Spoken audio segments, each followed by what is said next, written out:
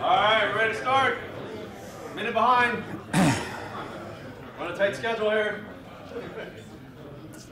Um, wow, thanks for uh, everybody You're going that is live yet, here. are? We've got some more that are still. Uh, I wouldn't do coming it live in. yet. I would wait until I- Um, It is an absolute honor to be able to hold this again. Did you actually This is go the live second year already? We've done this. Uh, this Go to- year, go to we've taken it up a whole other notch. Yeah, we've got so more go to- sponsors. We've got raffle prizes. We've got more people attending. We've got Mike Cottmeyer here talking to us about why Agile fails. Really cool stuff. So I need you to just go through. My name is. Brian Schoberg. I run the DC Scrum user group along with a slew of help uh, around here. So where's all our, I got Tracy back there, uh, Nora, Julie, Mark Hepler, uh, Sean Killeen, uh, Matthias back there. Raise your hands. Let's hear it for all of them. Mark Grove uh, for helping out getting this thing done like a well-oiled machine. Um, we've got the live stream up now, so it's uh, keep it PG to G uh, if we can. The uh, so if you are on Twitter, love to see you uh, tweet some stuff, maybe some pictures that you snapped tonight. Uh, Agile Giving, hashtag Agile Giving is what uh, we've used in the past. It, it works out, so use that, and then at Homestretch VA is the Homestretch uh, Twitter handle, and we've also got DC Sug uh, or Excelico as far as the place here. You're at uh, Excella. So I want to also thank all of the other meetups that are part of this mashup. You can read the list, but we've got Scaling Agile Nova, DevOps DC, DC Enterprise go uh, ahead and, Agile uh, Leadership Network, a slew. I haven't Well, done the, the count, yeah, but I think if you were to run the 90 minutes. numbers, we'd probably be in excess of almost 10,000 people that is part of this network. Uh, that's really, really cool. Yeah. So thank you for all the meetups. Uh, Business Agility, thank you, Jim. Um, but so we've got a bunch of sponsors. I'm not going to be able to go into details on each and uh, every sponsor, but I do want to take a moment because Excella is throwing um, not just the space here, but also doubling whatever funds we raise tonight, along with all the sponsor money that has gone in so far. We'll be matching that. So already we're looking at close to five thousand dollars coming in from Excella. So let's let's hear it for Excella. And Burton's going to tell you a little bit more about Excella, but I, I want to just make sure we do give uh, a lot of credit to the sponsors that have made this happen. We've got AgileCraft, Agilis, uh, who will also be giving away raffle prizes at the end of the night. So if you haven't gotten your raffle ticket, make sure you do. We've also got CA Technologies um, sponsoring Cater to Me. Actually, Daniel, I didn't even uh, mention her. She's been helping people move up and down the elevators all night tonight because we had a snafu there. She went ahead and reached out to her uh, resources, Cater to Me. They supplied all the food free of charge. Uh, so let's hear it for Cater to Me.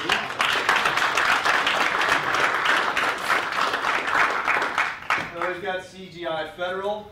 Um, Nate, uh, Nathan Harvey, uh, last minute sends me an email on Sunday night. Says, "Oh, yeah, can you include this real quick?" Went ahead and donated. Awesome, thanks, Nate. Uh, could use a little more notice, but he wanted me to certainly uh, let you know that DevOps Days DC will be coming sometime in 2017, and also DevOps uh, DC, DevOps Baltimore, DevOps Days Baltimore will be coming in 2017. So stay tuned for more information on that. We've also got Exivity, um, Eliassen Group, and also Leading Agile, who not only is Mike flown down here to come talk to you guys about why Agile fails, his company went ahead and also sponsored uh, and gave uh, a nice donation, generous donation to Homestretch. Uh, so let's uh, let's go ahead and uh, tip our hats to, to Mike and Agile. Uh, we've got Lightspeed, represented by Bob Payne and maybe a few others, I think. They're going to also be giving away a nice raffle prize tonight, but uh, also a donator. Uh, Civitech also giving away raffle prizes, Spark Agility. Also, I encourage you guys to go out and find out what all of these companies provide as service offerings. Great companies. Uh, we work with many of them in, in the DC Beltway. Uh, Sparkplug Agility, providing training. Team Catapult, I don't know, I didn't see Marcia here. Uh, if you want to get your, learn all about how to do great at facilitating, uh, Margaret, Marcia's definitely the, person to, to talk to about that. And then VersionOne, who is um, uh, Mike used to work for him. Used to work for him yeah. for sure. Yeah. Uh, but also another sponsor. So uh, I believe that rounds out all of our sponsors. Let's hear it one more time for all the sponsors. and now I want to turn it over to uh, Burton White, who is one of three co-founders of uh, Excella and a, uh, a great leader uh, we all look up to, at least at Excella. And uh, he's going to introduce himself and also uh, Homestretch. Well, it's nice to be uh, said that you, I'm looked up to by a guy in a Santa hat. Uh, He said I wouldn't get fired. I, I did, thank you. Uh, so I'm Burton White, I'm the, one of the co-founders of Excel and also the managing partner. And I want to thank you all for being here. It's really, this is a terrific group. Um, I'm so thrilled. Brian started this event uh, with a lot of help, but Brian really was the, the mastermind behind it a year ago. I'm just thrilled to see it uh, continue to another year and also grow so much. This is really remarkable. So Brian, thank you for your leadership in making this happen. It's really terrific. Um,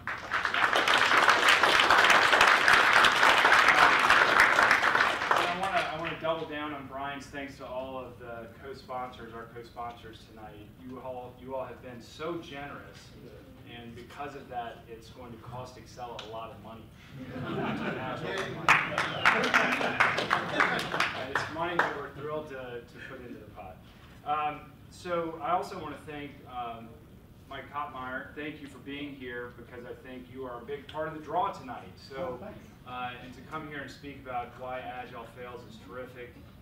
Are you also going to help us understand how to prevent it? Yeah, the subtitle is "and what you can do about it." Okay, So, yeah. Uh, we, we are all about impact, but we like it to be the, you know, that kind, not, not that kind. Yeah. Thank you. Um, so, um, we are at Excel, we're very passionate about impacting our community. We look at it, that community impact in a couple of ways. One is impacting our professional communities, and the other is helping those in our community who need our help.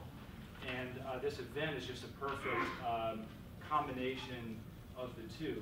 In, in, the, uh, in our professional communities, we, we really believe in uh, connecting with all of you, sharing what we know, uh, and learning from everybody so that together we all uplift uh, our professional communities. And um, so I want to pause and thank also the leaders of, of all these meetups that are here tonight because you're creating a platform that enables all of us to have a great impact on our community. So thank you for that. Much, much appreciate that. Um, the other thing we do to impact our communities uh, is through our partnership with Homestretch. Homestretch helps homeless families gain the knowledge, skills, and hope they need to become self-sufficient. And we chose to partner with Homestretch nine years ago because of the massive impact they have on the families that they serve. And so tonight, you're all a part of that impact, and uh, you're going to really love learning a little bit more about what Homestretch does so that you, I hope, will connect what you've done tonight to the, uh, to the impact of families that you're going to be impacted by virtue of that. So it's a great night uh, for Excella. We're proud to be a sponsor. It's a great night for all of our co-sponsors, great night for the meetups and for Homestretch, and I hope for all of you. So thank you for being here uh, to be part of this. Uh, and with that, I'm going to uh, uh, invite Chris Fay to come up. Chris Fay is the uh, executive director of Homestretch. He is a, an extraordinary leader in our community and impacting the so many uh, worthy families. So thank you, Chris, for being here to join us. I think, joy. I think the deal is you need to stay in this box. Is that right? Yeah, because then you'll be, you'll be online. Thank you, Burton.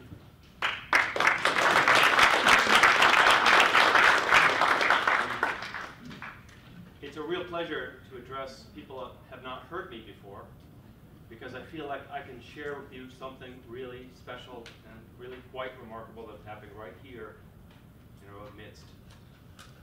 I'd like all of you just for a second to imagine a homeless person. You all have a picture in your head of what a homeless person looks like? Is that person nine years old? The average age of a homeless person in the United States is only nine. The average age of a homeless person in home stretch is only eight. So first, think of a homeless child with their parent. We take homeless families, it means there's a parent with children. We put them in a home, and then we surround them with services designed to propel them out of poverty. And this is important. Most programs working with the homeless have a very simple goal, and that is to ensure that that homeless family has a roof over their head. It's a very good and very humane objective, but it's not ours. Ours is different. Our goal is to propel them out of poverty so that there is no risk of homelessness ever again. Imagine a, a trafficking victim from Kenya, 18 years old, promised an education in the United States by this American woman. Instead, she's put on a plane and taken to Mexico where she spends almost a year in a brothel, escapes, is raped twice en route to the United States. She comes to our doors, broken in spirit and in body, thinking, what have I done with my life? With a, a child in her womb that she didn't even want. Imagine that same woman two and a half years later, having earned the degree to become a registered nurse. Imagine another woman, domestic violence survivor, fled with nothing but her child and a bag of clothes. Two and a half years later, two and a half years later, she's a pharmacist. Everyone who comes to us is homeless, but with our help, we provide an environment. you- You've heard the old adage, in every crisis there's an opportunity. That's what we try and do, to make sure that that crisis for that family actually opens up phenomenal opportunity to completely alter the course of their life. And it happens. One of the reasons I love this job so much is I get to see it happen. I get to witness it. We have a very, very intensive structure of services. We ask a lot of the families. When they come in, they don't just take what we give. They actually have to work very hard for a, a very, very specific set of goals, which includes increasing their income by two or three times in two and a half years. The average increase for family in homestretch in, uh, in their time with us is 155%. That's not enough. You actually think if you start at $7 an hour, that means you're making maybe 20. We want to get them up to 30 or more. But in two and a half years out of poverty, that actually is a statistic that leads the entire nation in terms of success. So your dollars tonight are supporting those families who are engaged in the process of taking what was a terrible beginning and coming to an amazing ending for themselves. Not really an ending, but the ending of their tenure in homestretch means they're going to move into housing they can afford, the income they earn. They have a career. Their children are doing well in school. Their health has been restored. Their legal problems have been resolved. And their future is bright. That's what you're paying for by coming to this event tonight. And I thank you. Um, I'm going to be sticking around if anybody wants my card. I'd love to share it with you, tell you more about us. But I also want to give a very special thanks to Excella. They've been with us for about seven years? Nine years. nine years. When we were very sm- much smaller, and we've gone through some extraordinary changes in, terms of adding programs and shifting the course of what we're doing so we can demonstrate that we are the best program um, achieving the most outstanding results in the nation. Another statistic that I love to share, we do outcome studies to determine how well the families do once they've left our care. One by George Mason University and two by George Washington University. They looked at how the families do two to five years after leaving our doors.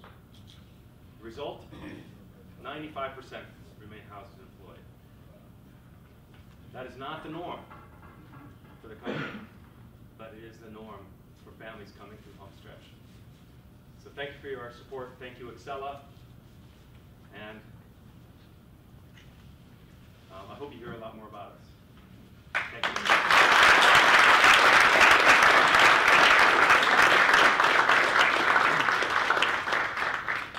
Yeah, uh, thank you so much, Chris. Um, not sure how long uh, Chris has been in the lead there, but uh, phenomenal success, great person, leading a great charge to help uh, many, many homeless families, and just the success stories are just, I, I brings tears to my eyes when I'm like reading these just dire, dire situations, and then getting them turned around in, in a half, a fraction of their lifetime into successful situations. Uh, so thank you for that. Um, I do want to say one other thank you. I think it's been said, but for those that came out here tonight and donated money to give to this great cause thank you very much uh, for coming out here, come to see Mike talk, but also give uh, to a great cause. So thank you very much. One more round of applause, please.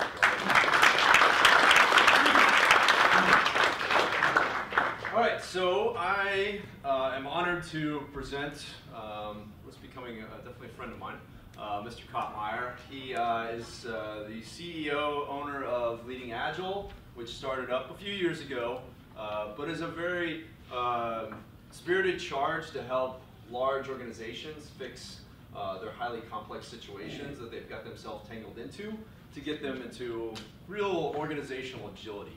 Um, so um, he's a keynote speaker at, at many conferences. Uh, please don't hold this against him, but he did go to University of Florida. Go Seminoles. Uh, but uh, please uh, join me in welcoming Mr. Mike Cottmeyer.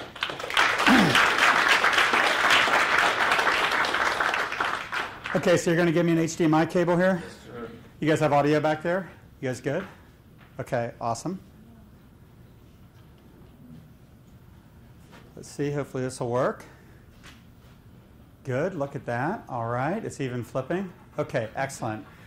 Okay, so this is going to be super hard for me, guys, because it's like I have to stand on this little blue box of tape, and I am like definitely like a hand waver, move around the room. So I'm probably going to like focus on you guys more because you're closer, and I'm just going to like pretend you guys don't exist. No, I'm just kidding. I probably just won't be able to give you the love that I would normally like to be able to give you guys. So this is actually a talk that I launched for, I think it was Agile 2014 was the first time I presented this, and I did it as keynotes uh, for several different companies. Did it as a keynote for a couple of different conferences that I attended, and and basically what I'm trying to do with this talk is I'm trying to build an argument for how I think we're thinking about agile transformation wrong in our industry. Okay, so what I'm going to do is over the next hour, 15 minutes, 20 minutes, something like that, I'm going to build a case for why I want you guys to think about agile transformation differently. So real quick, I mean, is there anybody going through an agile transformation right now? Okay, anybody like anybody not doing agile at all at all in the room? So you guys like everybody else is like all agiled out, right? Okay, so how well is your agile going? Who thinks their agile's going awesome? Okay, well, yeah, of course you guys do, right? But you know what I mean? So, okay. So who thinks it's kind of going, meh? It's meh. Okay, awful. Okay, there's some hands that didn't go up, so some of you guys aren't talking to me, but that's okay. Cool. So this talk isn't just why Agile fails, it's why Agile fails in large enterprises and what you can do about it. And so, uh, as uh, Brian mentioned, my name is Mike Cottmeyer. Um, I grew up in big, complicated, messy Agile. I got introduced into Agile when I was a PMP project manager doing large scale, kind of enterprise Scrum, mixed with XP, mixed with RUP, mixed with PMI stuff, right? It was a really interesting hodgepodge that we were going through. And what we were doing during that time is financial services, if I didn't say that. What we were doing during that time is we were blending approaches together. Because for us, the idea of creating a small six to eight person scrum team that had like everything and everyone necessary to deliver an increment of product was absolutely impossible. Like we couldn't do it. So we were blending Scrum, extreme programming. We were applying David Anderson's early work in agile management before kind of pre-Kanban stuff to do program and portfolio management. And, and just developed a really strong point of view about what this thing can look like at scale. And then Brian also mentioned I spent a couple years with VersionOne. And what was really formative for me about that time is that in about a two year period, I got to experience lots of different companies going through different forms of agile transformation. Some doing it really well, some doing it really poorly. And then I became like really super focused on what does it take to do this right. And I got really focused on why we were struggling and what the barriers were going on in, in these organizations. So this is the story I'm going to try to tell you guys. So a brief historical perspective. I hate starting any talk with like the manifesto or anything like that, but it's like there's a little bit of this that I'm going to use as a pivot into the next round of slides. And so if you look at the history of software engineering, right, we've been trying to figure out how to build software for a long time, okay? And so this, in, this, this slide isn't designed to be like a, an intro to the history of software development, but all this stuff was going on that culminated about 15 years ago in the manifesto. Okay? 17 people got together and they were doing these things that were kind of proto agile. And they got together in Snowbird, Utah, and they said, What do these things have in common? Okay? And what they came up with was a set of values individuals and interactions over processes and tools, working software over comprehensive documentation. They came up with customer collaboration over contract negotiation, and they came up with responding to change over following a plan. What I think's fascinating, and this is going to be like the starting place for the argument that I'm going to build, is that if you think about what they were really doing during that time, is that they were getting small groups of people around a table, right, doing things like pair programming, having an on-site customer, demoing working tested software on irregular intervals, right? They're doing burn down charts or, you know, whatever, right? You know, uh, user story cards, things like that. Reasonable, super high level, but right, you guys get the idea. But there was all this stuff going on that got codified into a set of values. Okay? That's the point that I want to make right now, okay?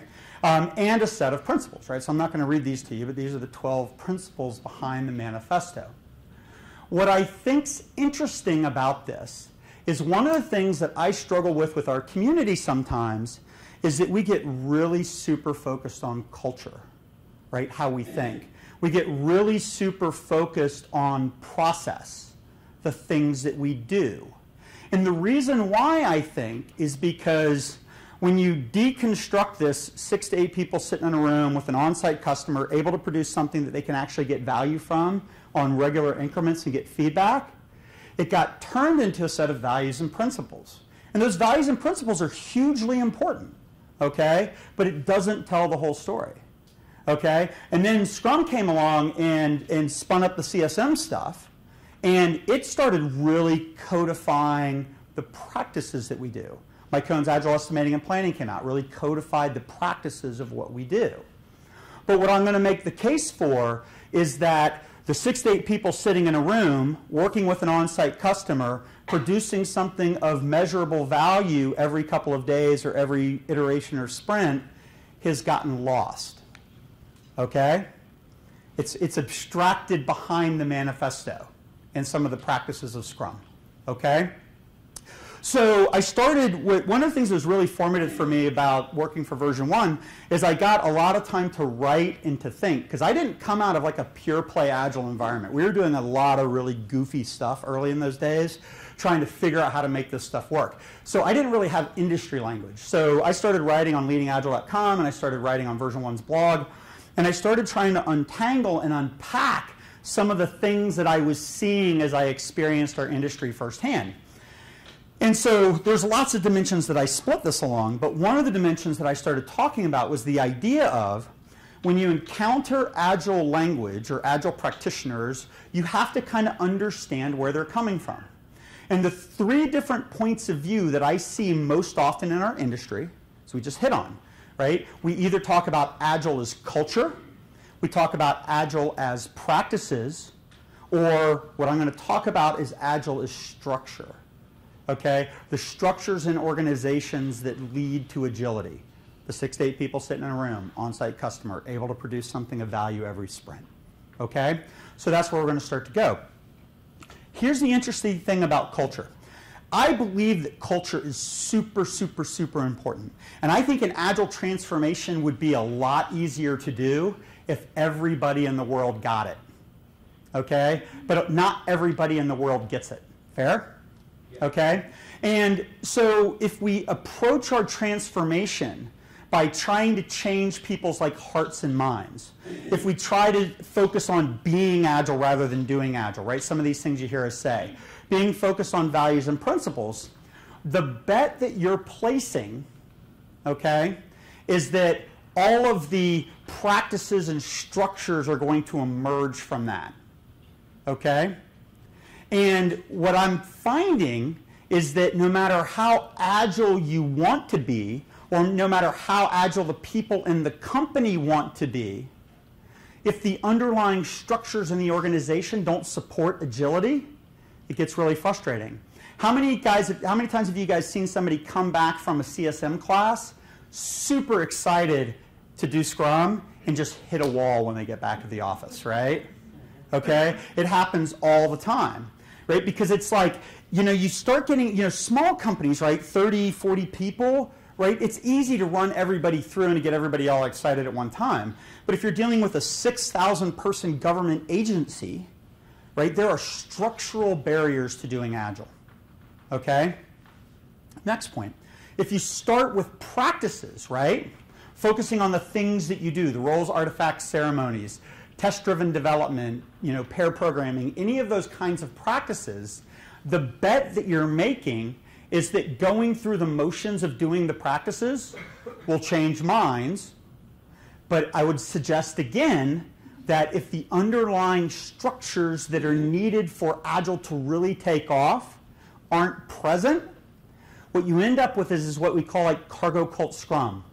Anybody doing the motions of Agile without getting the benefits of Agile?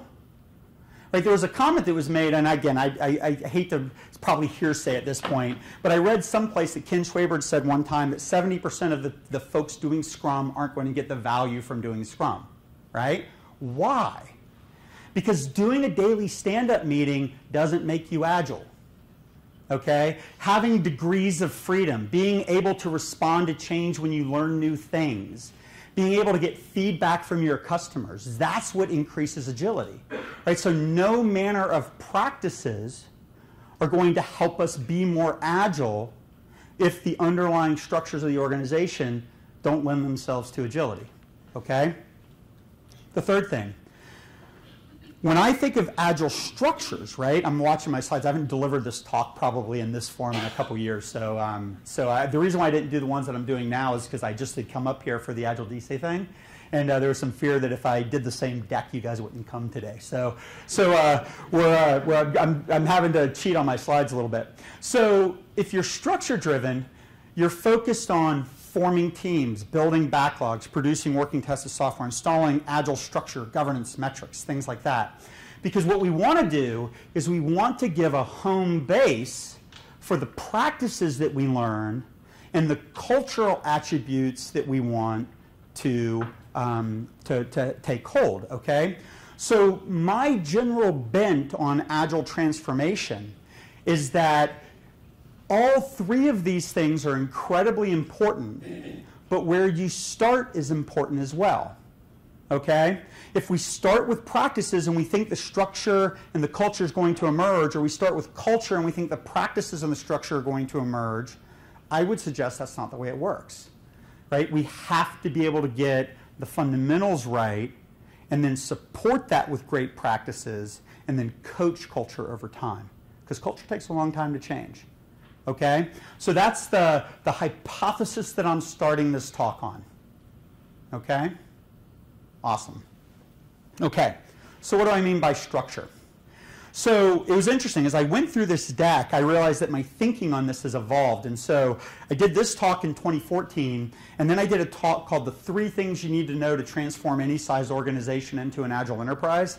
You can clearly see I am not good at writing short talk titles. Okay? so so what I did is I lifted this next slide sequence out of my three things talk. Okay? And so I started to tell the story this way. Then we kind of built on it this year and did this thing called the Executive's Guide to Leading Large Scale Agile Transformations, which is really just kind of a progressive um, kind of realization of what we've been doing. And so when I talked about the things in Agile that have gotten abstracted behind the manifesto and the practices of Scrum, I would suggest are these three simple things teams, backlogs, working tested software. Okay? If you don't have those three things, nothing you do with Scrum is going to work. No cultural change that you guys want to install is going to happen. Okay? It's, my, that's, that's what I'm banking on for the next hour or so. So, what do I mean when I talk about a backlog? I can't tell you how many people I say, Do you guys have a backlog? And they say, yeah, of course we have a backlog. And then I ask what it is, and it's just this series of like thematic things that the product owner wants to build. Okay? They span sprints, they can't be done in a couple days, right? The team can't swarm around them. Or on the other extreme, what we get is a bunch of engineering activities in the backlog. Okay? When you press a room and you say, what is a backlog? Right, I always go back to the Mike Cohn, Bill Wake stuff, invest. Independent, negotiable, valuable, estimatable, small, and testable. Okay? Things that can you can pull one in, take another thing out. Um, valuable in the language of the customer. Small can be done in a day or two. Testable, I know when I'm done. Right? And then estimatable, I need to know how big it is if I'm going to pull it into a sprint. And when I very first did this, I can't remember if it was one of the Scrum gatherings or if it was uh, at Agile 2014, but I had 500 people in the room, right? And I said, who in the room builds backlogs like this? Not one person built backlogs that way. What is that? Yeah, not one person. Okay?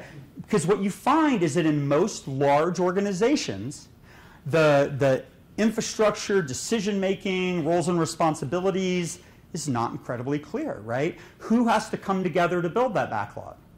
Okay? Because most large organizations fall into the trap of the next thing, right? How do we form a complete cross functional team? What does that even mean at scale? Okay? So back in the day, I had always read six to eight people, everything and everyone necessary to produce a working tested increment of the product. Okay? Well, what does, it, what does that mean when I've got 400 people all working across the code base. What does that mean when I don't have encapsulation? I don't have any kind of services orientation. I don't have any kind of componentization.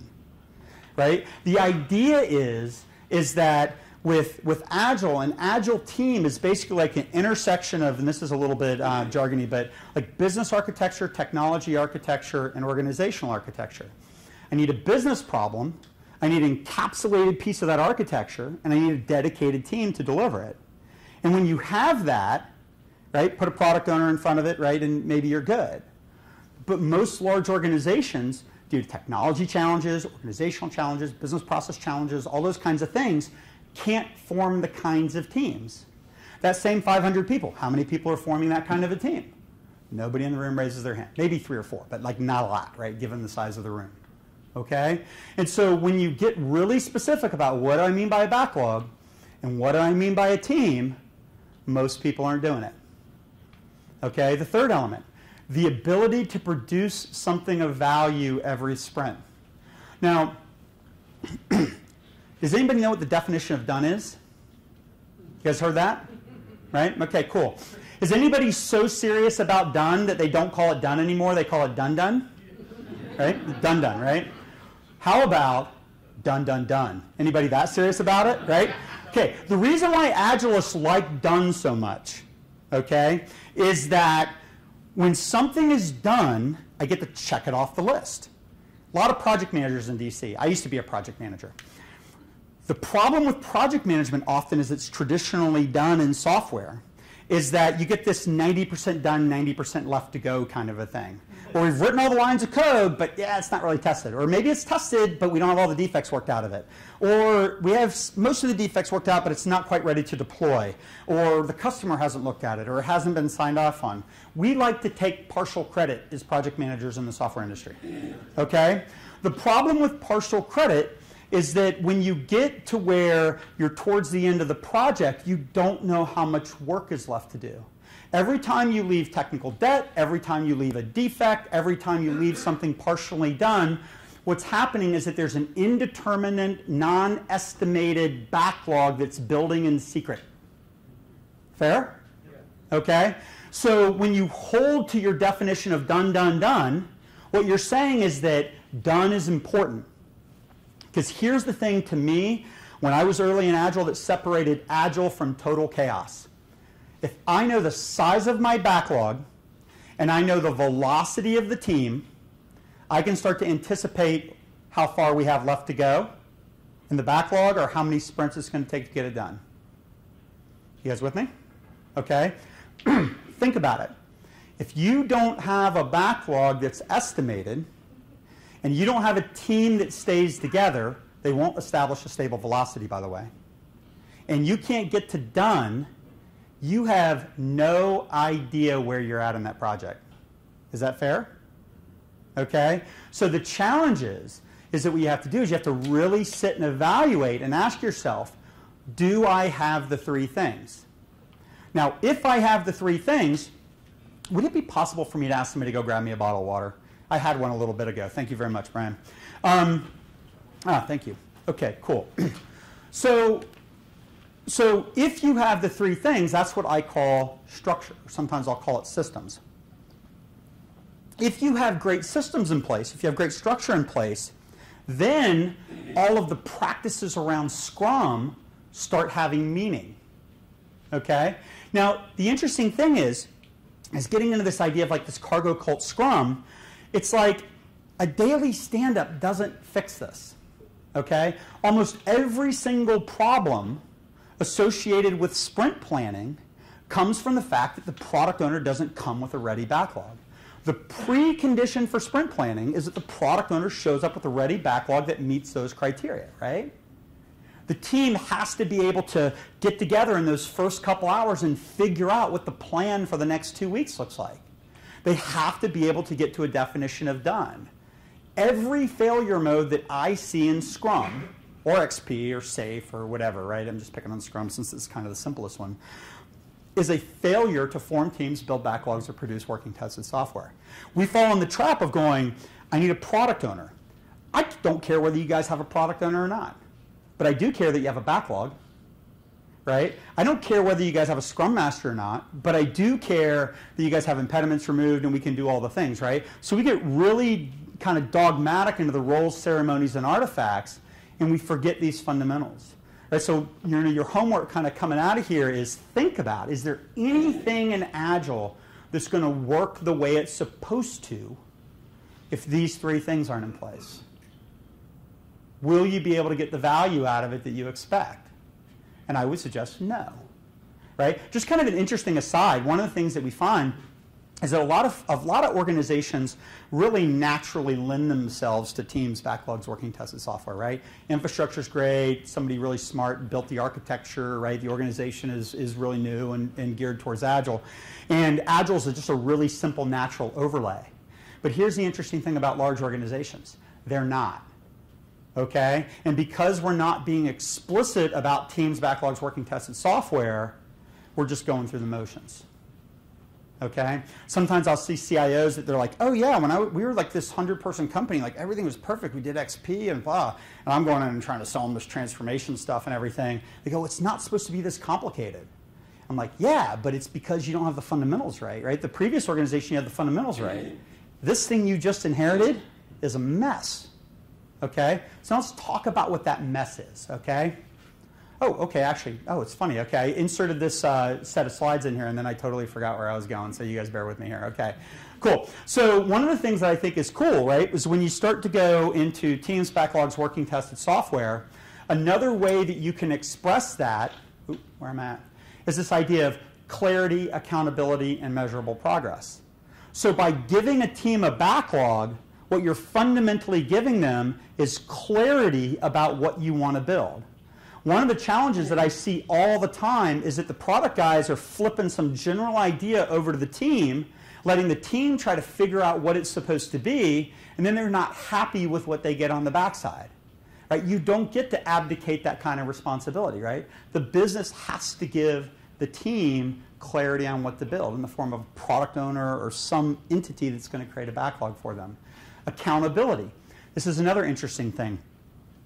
One of the things that Scrum, all the cultural stuff around Scrum is totally predicated on is the team being able to hold themselves accountable. And I might add, being held accountable by the product owner or the outside stakeholders or what have you. Okay? Think about what happens when you don't have a team that stays together.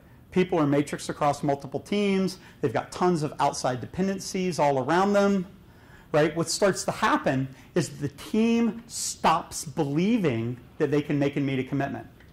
They stop believing that the process, process adds any value to them. Okay?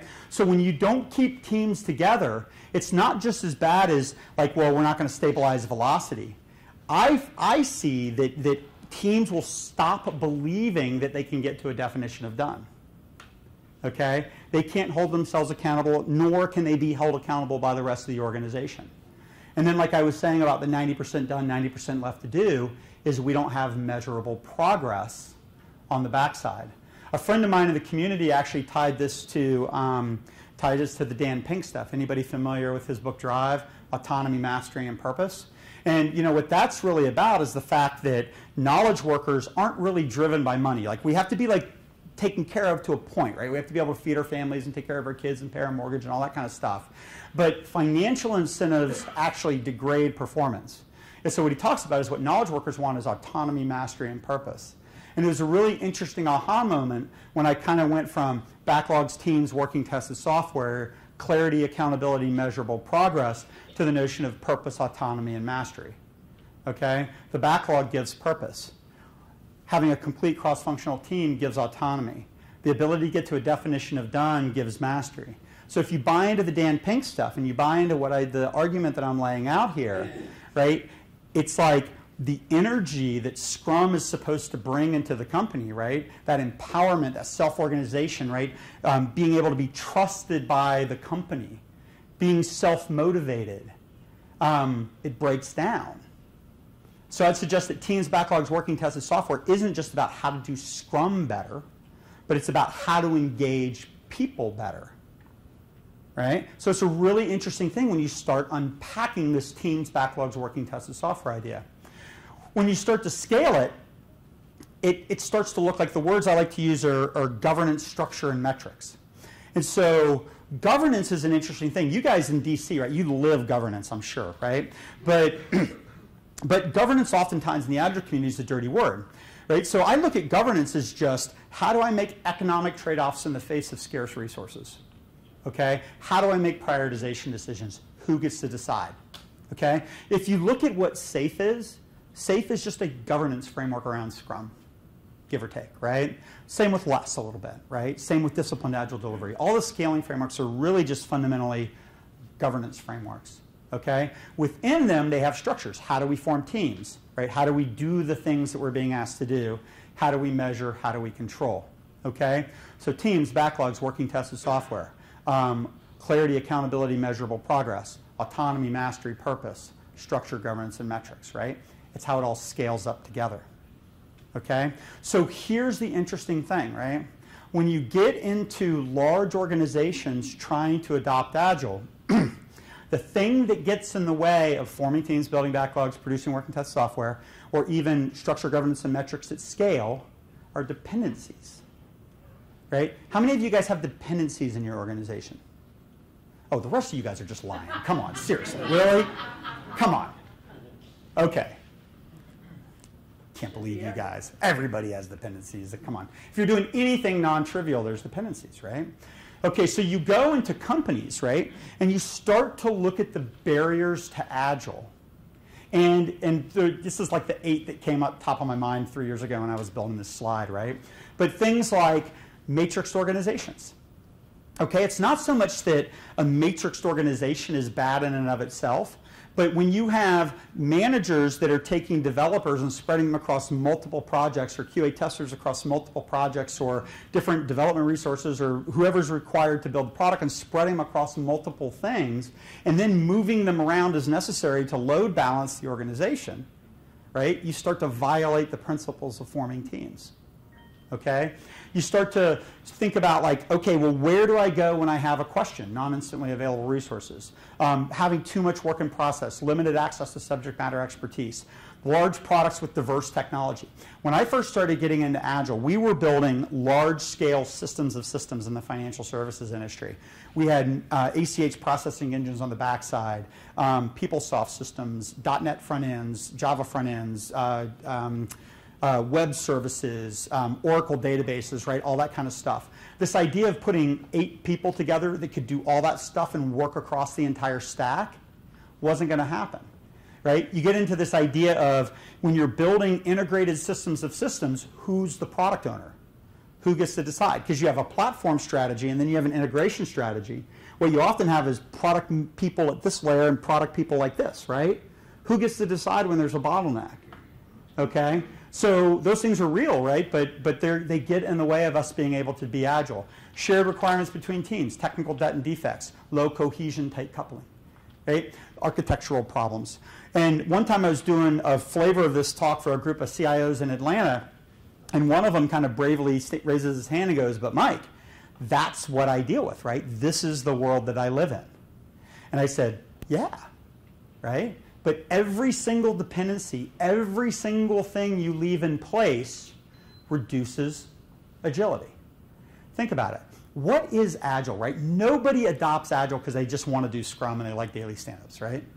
Everybody wants to do Agile because they believe that it's going to help them respond to change when they learn new things. Be able to put things in market faster, be able to get feedback, start generating early return on investment, right? There's all kinds of reasons that people want to apply Scrum. And so the interesting thing is, is that in the presence of dependencies, in the presence of these architectural challenges in organizations, you don't have the ability to achieve agility. You have the ability to do agile, but you don't have the ability to achieve agility. And so it's really interesting, right? So when you start with culture, you're assuming that if everybody just got it, they would self organize this stuff away. I have a buddy who might actually be watching. He's going to know I'm talking about him if, uh, if he's actually watching this. But um, he's been on a journey for about 10 years within his organization to refactor their back end. Okay? Um, it's requiring incredibly intentional investment, okay, at the, at the highest levels of the organization to progressively start to refactor this stuff. Okay? So suggesting that we're going to get everybody interested in Agile and that investment's going to kind of magically happen, it's a little bit of wishful thinking, right? Um, just saying, I want to do Scrum, it's, you know, so what is the expression? Scrum doesn't fix anything, Scrum just shows you your impediments, right? Those are the impediments that it's showing you. Okay, I'm pointing at that screen, but that screen, right? Those are the impediments it's showing you. So one of the things that I think is that we're being disingenuous with our leaders sometimes when we start with culture or we start with practices. And we say it's just going to show us our impediments and we have to fix them. Well, the fixing them are major, major investments sometimes. They're major reorganizations sometimes. And so, what I think we have to start doing is we start thinking about how to um, how to evangelize this stuff in companies. We have to start being more direct with the kinds of things that are going to get, in the way. But Mike, we don't know everything that's going to get in the way. Absolutely, we don't know everything. But I think we probably know 70, 80, 90% of it. Okay, we can create a hypothesis around the rest of it. Okay, we don't have to pretend that we're making it up from scratch. We know that this stuff is going to get in the way, right? So we need to start being on top of that. I'm going to pause for a second and take a drink of water. You guys have any questions? Thoughts you guys buy my premise so far? Well, you put up, you put up three things, Yep. culture, practices, and structure. You're Yep. talking around where to start. Yeah. I think you're saying start with structure. I am saying you start with structure. We're going to go deeper into that here in a little bit. So I'm building an argument for you, right? So we talk about where does it come from? Where does this culture stuff come from? Where does the practices stuff come from? Okay? And then once I get really specific about this Teams Backlogs Working Tested software, I'm holding out a standard for you guys that I think that most of you guys probably aren't achieving in your organizations. Okay? You guys might be doing Scrum really well. Maybe you're doing SAFe really well. But I bet you most of the folks in the room aren't getting the business benefit from it that they want. But here's the thing. So now I'm giving everybody in the room a pass because it's not totally everybody's fault. Okay? These organizations are messed up. Okay? But the challenge is if we actually want to achieve agility, we have to start getting really real about what we're doing, right? We have to start getting really real about the problem that we're trying to solve. So, kind of the transformation theory that we came up with is adopting Agile is fundamentally about forming teams, building backlogs, producing working tested software. It's not about principles and practices and who's the product owner and do we have a good, you know, whatever, right? Backlogs, teams, working tested software. At scale, it's about defining a, um, a lean governance framework. It's about creating networks of teams and collaboration all the way up the enterprise. It's about the metrics and tools that enable agility. And then anything that gets in the way of forming teams, building backlogs, producing working tested software, putting in lean governance, networks of teams, and metrics at scale is an impediment that ultimately has to be removed. Not to do Scrum, not to do SAFe, but to achieve agility. Okay? Question Yeah. or comment? I guess I agree with a lot, a lot of what you're saying, but I guess one thing I'm in trouble with is, you mentioned clarity Yeah. And, and, and also business value. hmm Um, don't you think that in this world, Mhm. right, that there is no sort of a single step way that you're just going to know where you're going? And that, and that, to me, agility is about creating a situation where you can exploit anti-fragile behaviors, so you can get, take advantage of fleeting opportunities. Yeah. How do you do that with clarity? Well, so so here's the interesting thing, okay? Some business we're going to get in this in the, into in a section or two from now, is that is that sure, right? I mean, the ability to respond rapidly to market, the ability to respond to change, the ability to do all these things. The challenge is is that in order to do that, you have to have an infrastructure that supports it. True. okay? You have to have good architecture, you have to have good team organization, you have to have all those kinds of things. Now, I'm going to break down some different dimensions to think about um, where you fall in different continuums, but I would suggest that not even every company is that right now. So bear with me here. I'm to, I think I'm going to hit your, your question here in a little bit. Okay, so solid agile practices will help operationalize a system and encourage a healthy, adaptive, empowered culture emerge over time. So build the systems, get the barriers out of the way, the practices and the culture come next. That's the point that I'm trying to make to this point. Okay? So we're going to pivot here. Right? So now we're going to have like a shift in ideas. Okay? The first thing is I was building the case for teams, backlogs, working tested software, structure, governance, and metrics, but most importantly, the case for breaking dependencies. Okay? Now what we're going to have to figure out is what do we do in the presence of dependencies while we're trying to remove them? What do we do with our organizational culture the way it is while we're trying to get it to be more adaptive, right? While we're trying to get it to be able to respond to change. And so a couple years ago, we invented this little model we call our compass or four quadrants, okay? And one of my proudest moments, and I probably shouldn't say this on video, but um, one of the coolest things was um, I think when I first rolled this out, Agile 2015, um, one of the guys from Jeff Sutherland's organization came to my talk, and then they talked about this in their talk and uh, scrum.org has since done some videos around it. So it's like the first thing that I feel like I've ever really contributed that like a, a serious other thought leader actually like picked up on and used, right? So it kind of gave some credence to this, and I think it's a really valuable insight. So a, a couple years ago, when I first started writing about um, some of the challenges that we were having adopting Agile in different companies, um, I started talking about the fact that kind of to your point, that certain companies are built for predictability. Okay? Certain companies are built for change. Certain companies value predictability. Certain companies value change. So, like a really key indicator is if you value predictability, is if you're doing annual planning cycles, projectized organizations, trying to put together gigantic interdepartmental Gantt charts, right? Trying to resource level across the whole year, right? Trying to figure out exactly how much scope you're going to be able to build for how much money and all that kind of stuff. Not no value judgment, but rest assured your organization values predictability. That's what it's going for. Okay? There are organizations right? A lot of the new web startups, my company, I'm sure Excella, right? A lot, maybe some of you guys that really value and are built for change. You recognize that the markets are changing and that things are going to be all over the place. So you can build your organization from the ground up. Most of the time when I run this exercise with executives and I say, okay, do you want predictability or do you want to be able to respond to change? What do you think they say? Yes, of course, right? They want both, right? And so the only thing we want people to recognize at this point is that the more you strive to get predictability, the harder it is to respond to change. Okay? The easier you make it to respond to change, the harder it is to make and meet commitments. Okay? There's a tension. right? So one of the things we try to do is just get executives to reconcile that there's a tension, okay? And so most of them can do it, by the way, yeah.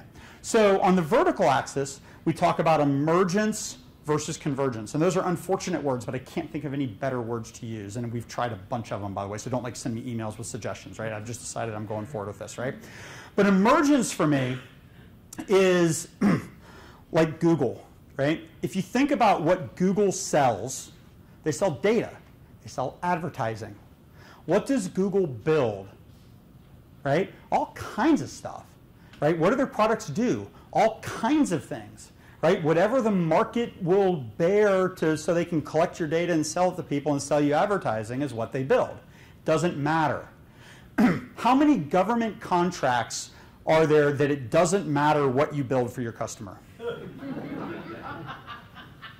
So probably not many is what I'm hearing, right? So here's a bucket of money. Just go build me whatever you think's cool, right? Inspect and adapt in the market.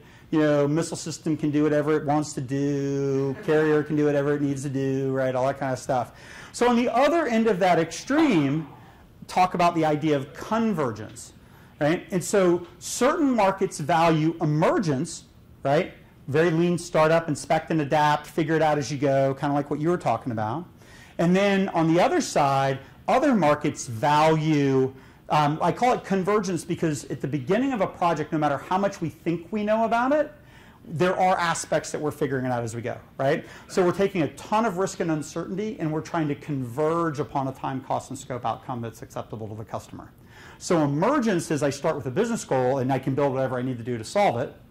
Convergence is I start with risk and uncertainty and I'm trying to drive towards a time, cost, and scope. Okay? So when I started writing about this, I started writing about the nature of organizations and the nature of markets. And then I kind of accidentally coined this idea of the predictive convergent organization and the adaptive emergent organization.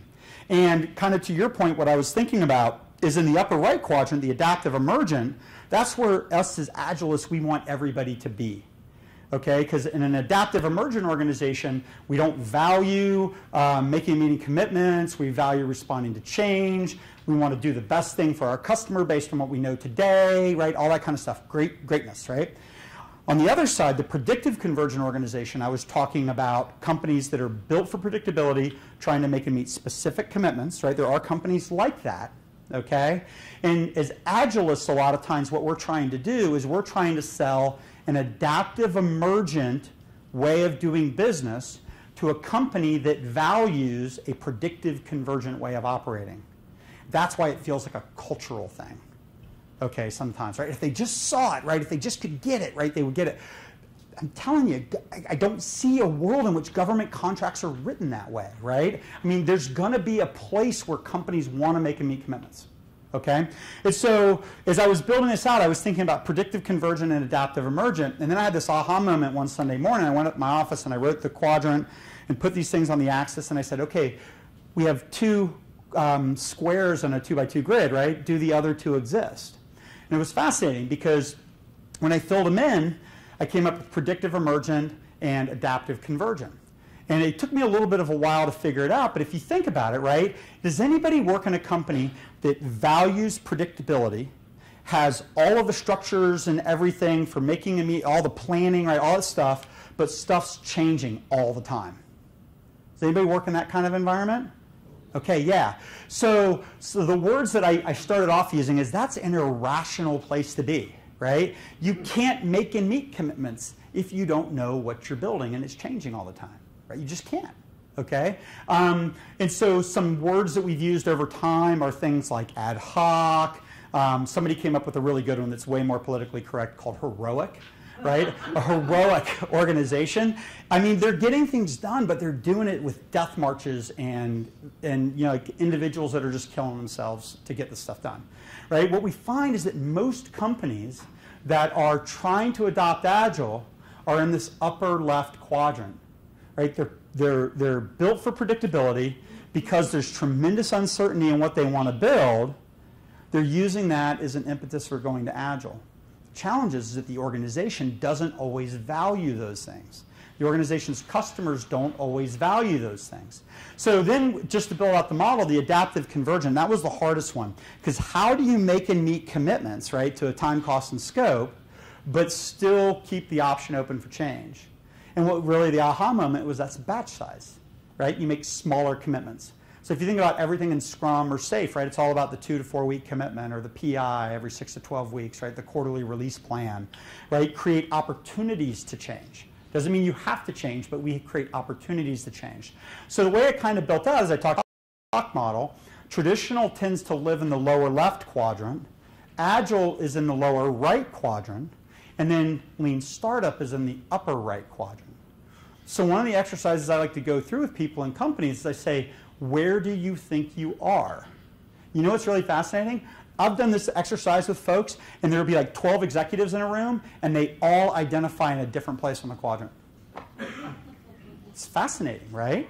And so you can use this as a way to say, okay, where are we now, and where would we like to be? And we're going to go a little bit deeper into that. But here's the thing. I want to make sure, okay, cool. I was making sure I got my slide sequence right. So this is going to be the first half of the title of the talk, Why Agile Fails. Okay? It's a big buildup just to get to the first like line of the talk, okay? So why does Agile fail? Most organizations that are trying to adopt Agile, I believe, large organizations, are in the upper left quadrant. They're built for predictability, they value predictability, they're organized for predictability, but because either their market is changing so fast, or because they haven't put the time and energy into fully eliciting their requirements, it feels very ad hoc. It feels emergent, like it's changing all the time. Okay? So we're going to tie some concepts together. So what they do is that they do an agile pilot in the upper right quadrant. Okay? So here's the interesting thing. In the upper right, they put six to eight people in a room. They give them an on-site customer. They can produce something of value every couple of sprints. You guys see where I'm going here? Okay? They create all the perfect conditions to exist. They release it from its governance constraints. Okay? And they take the best and the brightest and they get them over in the corner and they just do agile. And you know what? Scrum works when you do that. Fair? Okay? So now we've done our Scrum pilot. And now what do we do? We say, okay, let's pick another project or two but we matrix people into the organization and we hold them to the same governance and you know what we so what we're basically doing is we're putting the adoption of agile back into the to the left upper left quadrant okay? So what i think is agile is failing is because we pilot in the upper right quadrant we give out all the conditions and then we take the practices and sometimes the mindset and we overlay it on top of our broken organization that's full of dependencies. Does that make sense? Yes. Okay? And so the next part we have to try to struggle with is what do we do about it, right? How do we overcome this?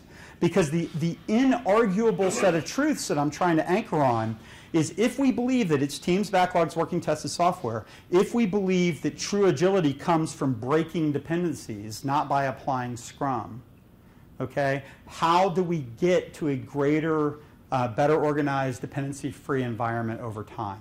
Okay? And so when we first started kind of trying to untangle this, we've gotten a little bit more mature around it, is what we started talking about was this idea of, in the upper left quadrant, it's incredibly low trust. And one of the things, what do agilists like to say, right? They like to say, well, just trust us, right? Just trust us, right? Empower the teams, and the teams are going to do awesome stuff.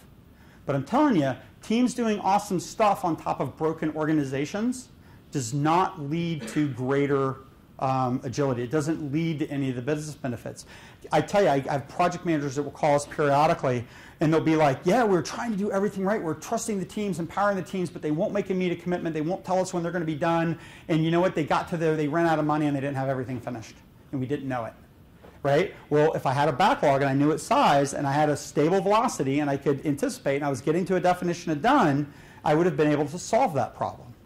Okay, but the reality is, is a lot of times they can't. Okay, and so it's very low trust. So saying just trust me is often not good for the organization, right? Because the teams have not demonstrated trustworthiness. The environment that the teams are operating within does not lend themselves to being able to make and meet commitments. Okay? So, kind of our initial hypothesis in this was what we should do is instead of asking the organization to trust us, we should get the organization to become trustworthy. Okay? And what I talked about initially was the idea of becoming predictable, getting really good, clean backlogs, getting really solid velocity, being able to start to anticipate scope and duration and all those kinds of things, getting really rock solid about it. Okay? Now, here's the thing we don't want to do that with, you know, traditional project management. So what you do is you do that with a combination of kind of lean agile techniques. Sometimes in this quadrant, I talk about team-based, iterative and incremental, um, but more highly governed, more highly plan-driven. So in this quadrant, I might be doing things like annual roadmaps broken into quarters, three to six month release plans, really strict kind of three month backlogs, right? Not the let me just make it up as I go, but putting in the constructs to drive some of the certainty that you're talking about. Okay. Um, another interesting thing is I don't know if any of you guys are like Gartner subscribers, but Gartner talks about this idea of bimodal. What we find is that there are certain organizations with certain parts of their infrastructure that actually need to stay in this predictable quadrant. I mean, how many people want a bunch of 24 year old agilists working on their mainframe banking system? Serious, right? You guys, you guys cool if your bank balance is off? We'll just fix it next sprint? Right? I mean, there's certain things, systems of record, right? Things that are more, that have to be more stable. Sometimes it's okay to kind of stay in that lower left quadrant. Okay? For the things that want to move, right, as we move to the right, we start thinking about how to reduce batch size. Right? That's through a combination of program and portfolio management changes. Sometimes it's release management. Sometimes it's breaking dependencies. Sometimes it's technical architecture, testing practices, DevOps, things like that. Right? That's what's required to move over to the right. And then as you move up, and you actually have fully decoupled teams operating around autonomous increments of the product, now we can start to think about doing more disruptive innovation within those platforms. So what's interesting is that as a group of practitioners, what you guys have to figure out is which quadrant are you in and which quadrant do you want to get to. And what's interesting is sometimes that's not driven by you guys, sometimes that's driven by the people that are paying the bills and what they're willing to invest. Okay? And I think, again, a core challenge that we have is that what we believe is Agilists is either A, not technically feasible given the constraints within the organization, or it's not where the organization wants to be. So, doing a transformation is often a lot about meeting the organization where it is, helping it be successful in place, and then making incremental systematic improvements that help increase agility over time. You got a squinchy face, man. You got a question? Yeah. Yeah. So maybe maybe a, more like a, a comment. Okay. Uh, so it, it seems like you're, you're kind of building up from a foundation, and the first step is to get. Would, would you say that getting the backlog under is Mhm. really is really the, the foundation moving from quadrant one to quadrant? It's, it's the three things, man. It's backlogs, teams, working tested software. Okay? But sometimes the challenge becomes is that, um, is that forming teams when you don't have the right organizational structures in place, or forming teams when, you're, when you don't have the right number of people to staff the teams in place, or trying to create autonomous teams when you have dependencies, right? I mean, there's lots of different things, right? Trying to get smaller batch size when the organization wants longer term planning. So what you find is that usually, and we're going to, I'm going to go through this in a little bit more detail in the next slide sequence, but stabilizing the system requires a lot more energy than people are putting into it today.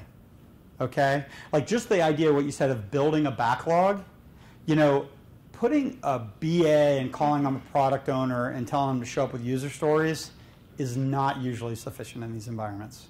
I mean, a lot of times we're creating small working groups of architects, project managers, analysts, maybe five or six people almost operating in a kind of scrum team of their own that do nothing but decompose backlog forward and deep. okay, that are feeding multiple Scrum teams integrated dependency aware backlog, subordinate to a higher level portfolio kind of a thing, right? So there's a lot of elements in SAFe that are that are really sound, right? If you if we really unpack the model, I think I've got some slides in here. We'll see how far we get. But the idea is is that um, is that the level of rigor and discipline required is greater than most organizations are currently putting into it or are able to put into it. One of the big challenges with backlogs is if you think about it, and I say this flippantly early in the talk, but it's like if you put a product person in front of a technical team, they're just saying, hey man, I want to go climb this mountain. Go figure it out. Right? If you're really going to empower that team to go do it at their own pace and their own scope, and their, okay, right? But if you're trying to get eight or 10 teams or 100 teams to operate, operate in an integrated fashion in a tightly coupled, poorly architected kind of environment, it ain't going to happen, right? You're going to create gridlock. Okay, because the challenge is, is that as those teams figure out their backlog, they realize, oh, I got to go get something from somebody else, and they go and and the team is going to self-organize them away. Okay, if you have dependencies, you have to manage them. If you have encapsulation, if you don't have encapsulation, you have to have orchestration. As you get greater encapsulation, you can reduce orchestration. As we get the organization right, we can reduce the level of planning and overhead. Does that make sense? So that's kind of the premise that I'm going for here. And so I gave you guys my theory of transformation. So kind of corollary one is Agile can mean different things to different companies and not all approaches will work well in every organization. You can't come at a government contractor always with a lean startup approach, right? If there's a specific date, a specific amount of money, and a specific scope, I would suggest you have to respect that if there's dependencies and poor architecture and all that kind of stuff I've been talking about, you can't pretend that Scrum, team level Scrum, is going to make it go away. Right? You have to have a strategy for, for working that stuff out and resolving it. Okay? Sometimes SAFe will work, sometimes won't. Sometimes LeSS will work, sometimes it won't. Sometimes it's just lean, agile program governance on top of Scrum. Okay, but one of the things that I spend, I feel like I spend a lot of time doing is giving people permission to plan forward if they need to.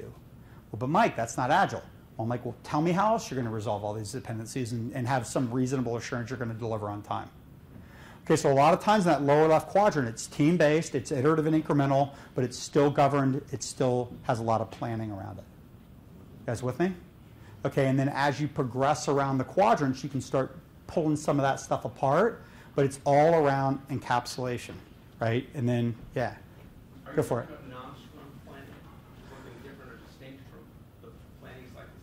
Well, so so when you look at when you say planning cycles within Scrum, I would kind of say like, well, what does that mean, right? I mean, Scrum in its simplest form is the product owner sits down with the Scrum team on every two week intervals. Maybe they get together every three months and do release planning, right? I mean, do all that stuff. But what I find is that the level of visibility into the backlog has to be um, more tightly coordinated like I'll tell you one time, one thing that's interesting I don't think people realize is how pragmatic guys like Jeff Sutherland are.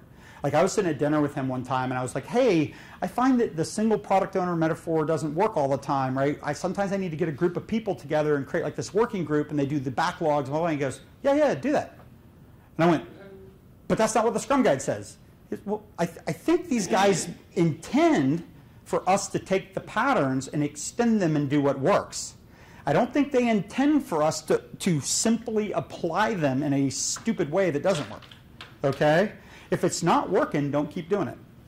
Okay, just because Agile says to do it, right? So the idea is, is that what I need is, is I don't need product owners operating in Scrum cadences. What I need is backlogs that are dependency aware that the teams can start processing without thrashing around in the sprint. Makes sense? It's very nuanced. If a single product owner can give that to you, by all means right? But if they can't, or you don't have one that can, then you got to do something else. Because I don't need product owners, I need backlogs. It's a really subtle distinction, right? Okay? Yeah. Okay. So we have to have the ability to adapt it to our current set of constraints. Okay? So one of the things that we talk about is we talk about this idea of creating an agile journey okay? And a lot of us, when we pick up the book on Agile, we want to be able to um, just go right out of the gate and just do Agile. If you can form teams, build backlogs, produce a working tested increment, by all means, pick up the book on Agile and start doing Agile, start doing Scrum, start doing XP, right?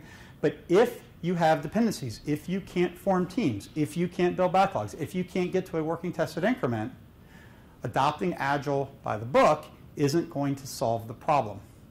Okay? So what we generally find is I was actually, when we first created this, I was, I was kind of a little dogmatic about this path, but we've learned that there are ways of going straight from one quadrant to the other if you're willing to create the conditions for that quadrant to work.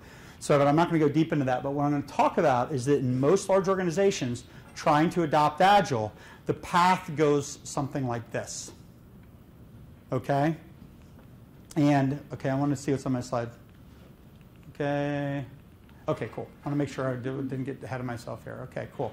So, a lot of times what it boils down to is that if I'm going to go from this chaotic, heroic, irrational, ad hoc state, the first thing is I have to do is I have to build trust with the organization and I have to become predictable using lean agile techniques. Often that requires forming teams, getting higher level constructs in place to be able to break down backlogs, create dependency aware backlogs, to deal with bottlenecks in the system, to deal with some of the challenges that we're going to have because we don't have all the right things in place. We have to plan in the presence of dependencies. We have to subordinate to existing contracts, to existing portfolio governance, all that kind of stuff. It's not going to go away day one. Okay, so the first step in this kind of journey can be let's stabilize the system. Let's don't go straight towards okay, we just have to make it up as we go because things are changing, right? Let's put the energy into stabilizing the system.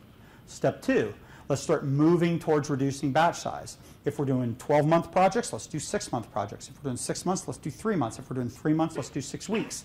Okay? What kinds of things have to improve in the system to be able to deliver or plan more frequently? Sometimes that's technology practices. Sometimes it's release management. Sometimes it's a little bit of DevOps. Sometimes it's a little bit of working with the organization on program and portfolio governance. Lots of different ways to attack that problem. But step two is, is we've stabilized, now let's get things in market a little bit faster. Okay? Now, there's going to be a lot of organizations, as I mentioned, um, banks, uh, mainframe platforms, systems of records, Gartner Mode 1 kinds of things that probably don't ever need to be any more agile than this. And if that's your level of agility, that is probably okay. Okay? Because here's the thing you can get a lot of this agility without doing like major refactoring of your platform.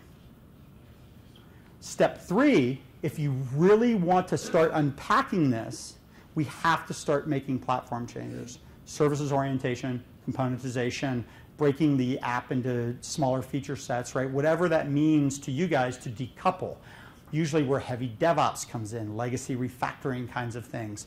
Um, probably not all of your organization needs to go through this. Step. Maybe it's just the, the strategic pieces that need to be pulled out and decoupled.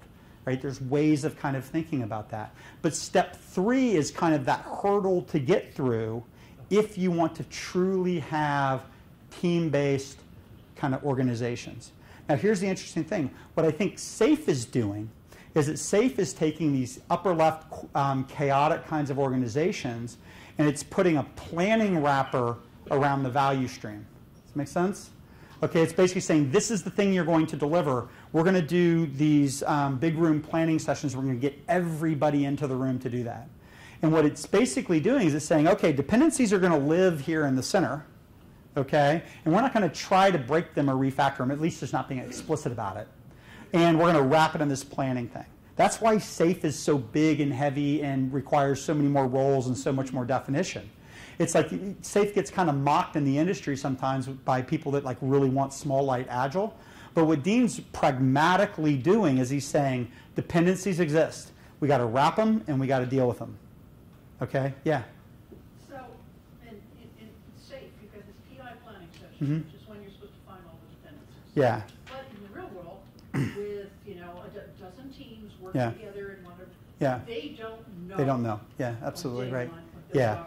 You gotta Yeah. constantly be proactively finding them for the team. Yeah, absolutely. So that's actually the failure mode that I see most common with SAFe, SAFe implementations is that they go through the motions of SAFe, okay? But because the teams aren't encapsulated, they don't have stable velocity, there's too many internal dependencies, those dependencies are not being forward managed very well, that they, they actually don't find them. So you get, now we're starting to get a lot of people that are really going through the motions of SAFE, but they're not able to deliver on a steady cadence a predictable increment back to the business. Okay? But the fundamental failure mode of SAFE is the same thing that's killing Scrum, just at a larger scale. Okay? It really is. It's fascinating. So if the value stream is truly encapsulated, like if you walked into a company that had seven or eight Scrum teams and they were relatively new and they, they could do the big room planning or as a division or a group or something that had true encapsulation, you probably could do that. Okay? But there's a lot of environments where the value streams are even overlapping. Okay? So again, it's all about applying the method into the context it was intended to operate in. If the context is broken, you got to fix the context, right? You don't want to change the process. So there's a lot of failure modes with SAFE right now too. But what SAFE's kind of doing is it's kind of saying, okay, we're going to jump over phase one, phase two, we're going to go straight to phase three, and we're going to stay there.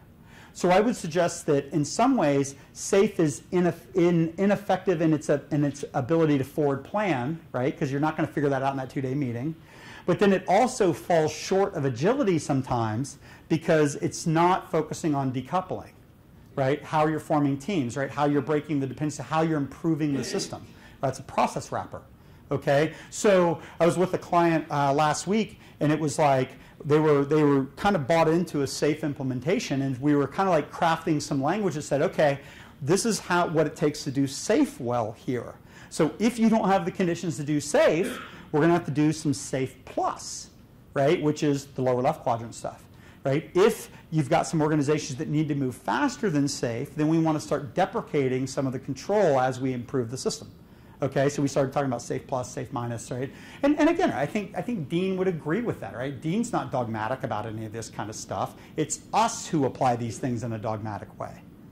Okay, because the challenge is that these guys that are doing methodology, they have to get it so specific that we'll buy it and come to certifications and it can be trained on and all that kind of stuff, which is fair, okay?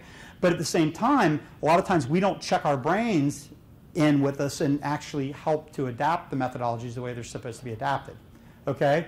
But if you can truly get over some of the dependency hump, okay, then what can start to happen is now we can start to think about team-based project deliverables. Like the holy grail to me of Agile is your team, right? You've got a responsibility for a feature set. I'm approving work for you, right? Think about it. You had a single product owner, project to do, break it down in the backlog. You have a single team that's doing it, right? That's pure play Scrum right? That's the way it's supposed to work when, it, when you don't have a ton of dependencies.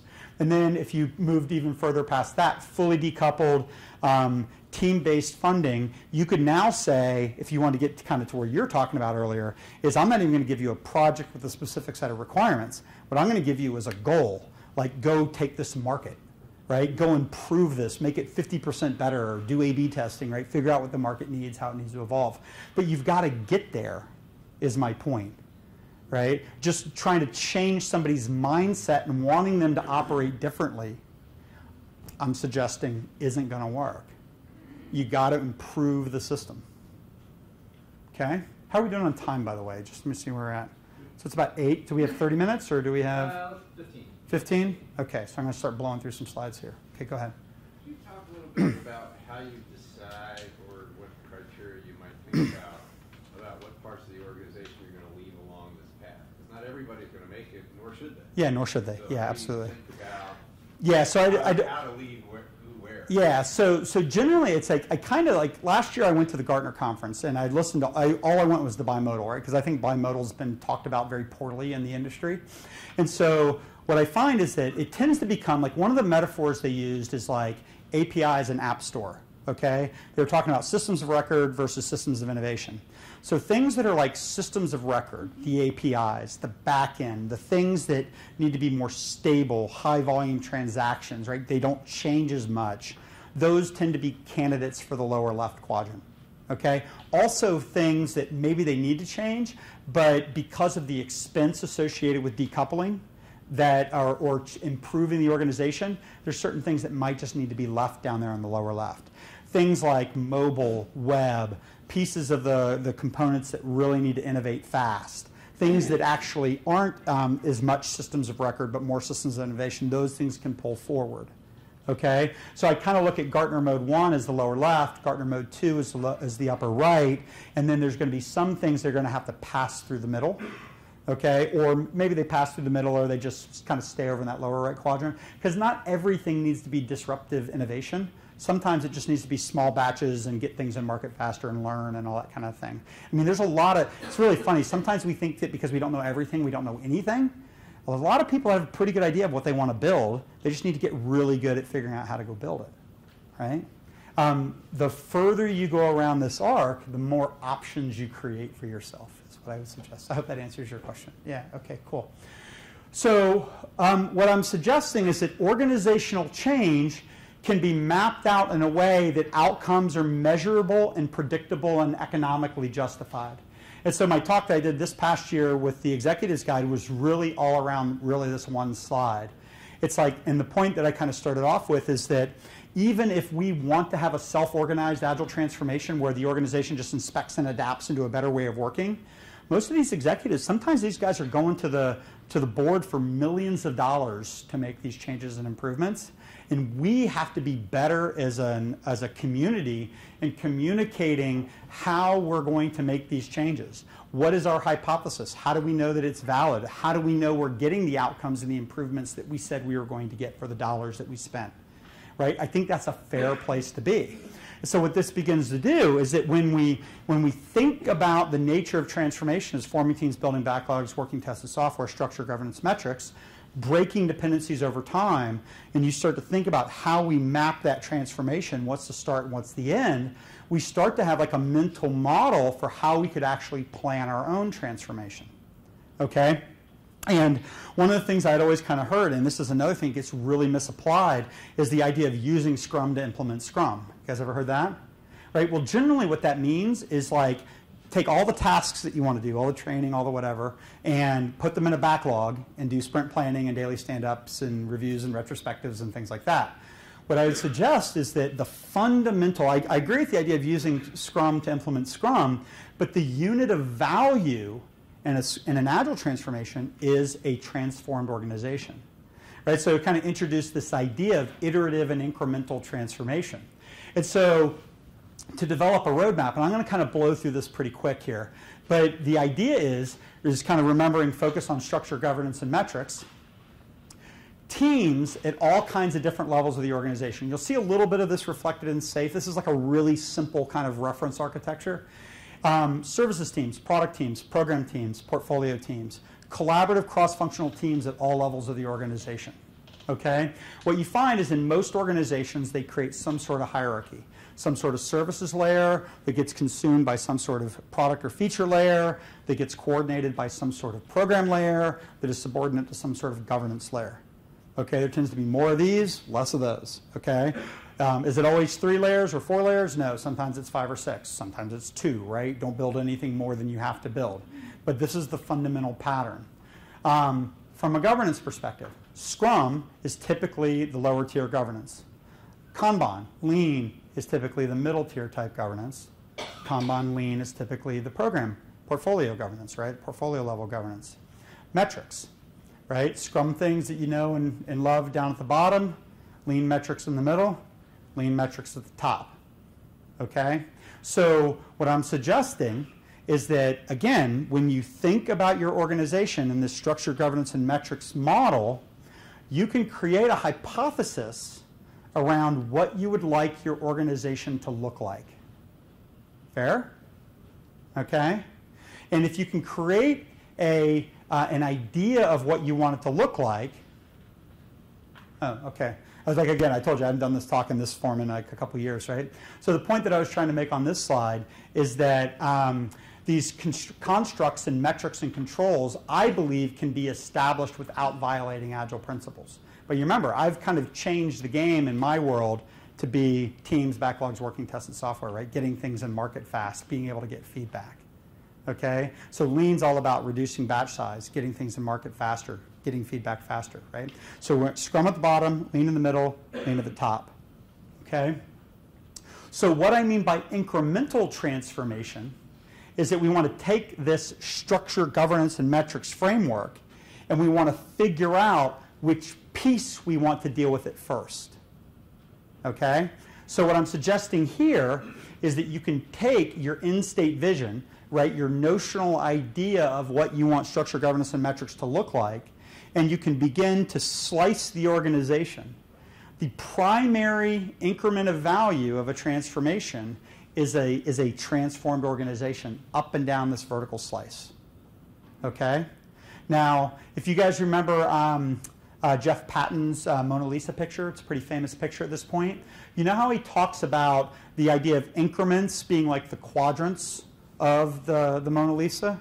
And then he talks about the iterations being like going from uh, going from like a, a, sketch to a watercolor to an early oil painting to like a fully realized oil painting, right? Think about like that, right? So when you look at your entire organization, structure, governance, and metrics, then you can start to think about how to break it up into increments, like the quadrants of the picture.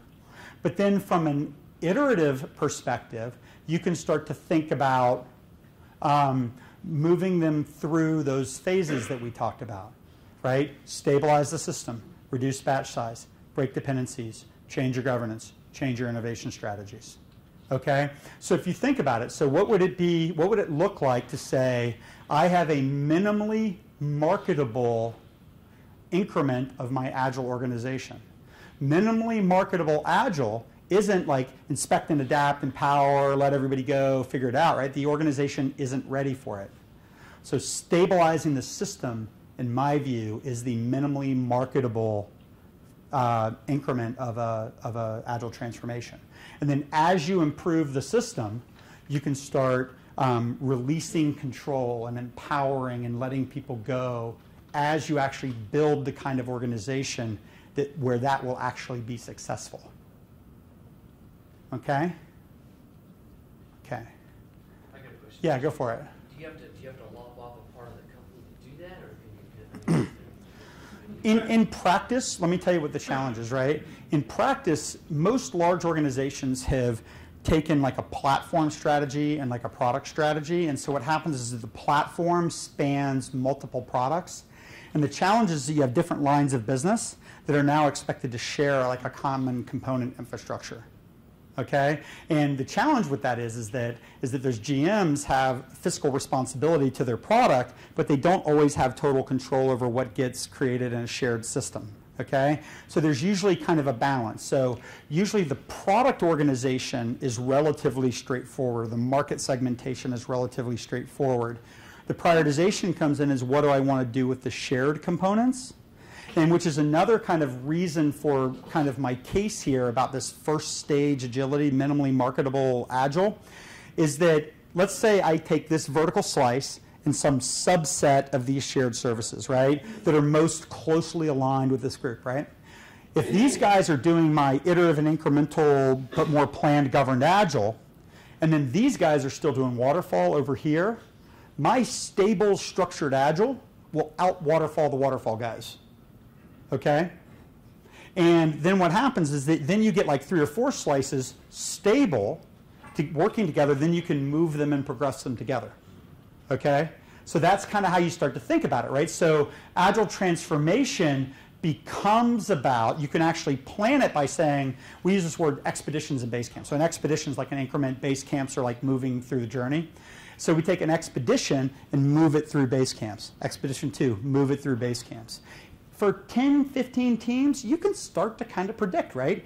How long is it going to take to get everybody trained? How long is it going to take to get these things stabilized? What are the things we need to do to round out the teams? What are the key dependencies that we need to manage or break? What are the key architectural constraints that we need to deal with? Right? When you stop trying to make you know make it up as you go and you really start thinking about the problem, you can actually linearize the problem a bit. Now, are we going to learn? Are things going to change? Yeah, absolutely, right? Are we going to make mistakes and have to have feedback? Absolutely, right? But I mean, you create that hypothesis and really lay that out. And it becomes a really powerful tool for executives in doing change management because now you can say, okay, this million dollars that you guys have to spend this you know, quarter or two, right? This is how we're going to spend it. These are the things that we're going to try to improve. This is how we think the organization is going to behave differently when we're done. This is how much faster we're getting things in the market. Here's our metrics baselines, right? This is, you know, it doesn't have to be soft and squishy at this level, right? And so let's see what else I have in here. Okay, so we're talking about iterative and incremental stuff. Organizations can adopt Agile safely and pragmatically by iteratively and incrementally uh, introducing structure, governance, and metrics and maturing practices and culture over time as we create the conditions in the organization for those practices and cultural things to thrive. Okay? So, summary. You got my theory of transformation, right? Form teams, build backlogs, produce working tested software. Anything that gets in the way is an impediment that has to be broken. If you guys are going to leave dependencies in place, you have to manage them. You cannot pretend they're going to self organize away. I think this is an excellent opportunity to go back to your executives and sponsors and say, this is what's getting in our way. We need, we need to get out in front of fixing these things because it's driving the teams crazy, right? And then kind of these corollaries and stuff like that, right? So we've just all recently gone through that. So what questions you guys have for me? Yeah. So what do you do if what's getting in your way Yeah. is the customer? Yeah, interesting, right? so, Federal contracts? Who is the government? So no, I figured. I, whenever I come to DC, I just assume everybody in the room is government contractors doing work for folks, right? So, so here's here's the interesting thing. So, whenever I work with any kind of municipality and we have this conversation, the first thing that I ask is I go, how how specific are the actual requirements? Okay? And, and so again, this is a broad generalization, but what I would suggest, if you think about like Leffingwell's epic feature user story kind of decomposition, I would suggest that the epics are pretty well defined. I would suggest that the features are probably well defined, but there's probably some room for negotiation down at the user story level. Maybe not always, but I would suggest in a lot of them it's like that. Okay? And so I have this idea, like what, again, like five, six years ago, I started doing talks on agile program and portfolio management. And one of the things I would talk about often is that if you guys, as a government contractor, have sold, in effect, a fixed time, fixed cost, fixed scope delivery to somebody, okay, it is in your economic best interest to manage that or you won't be profitable. Fair? Okay? So what would you do, right? Those are no longer estimates. At the point that you've sold the deal and committed to it, those things are no longer estimates. They're constraints. So now what we have to try to do is we have to figure out how to optimize our economic outcomes in the presence of constraints. So what that means is that when you create that team, right, that middle tier team that I've been talking about where you get collaborative requirements decomposition, what that team does is it looks up at your epic commitments and your feature commitments and it says, okay, what user stories can I build that optimize my chances of delivering the epics on time and getting all the functionality in?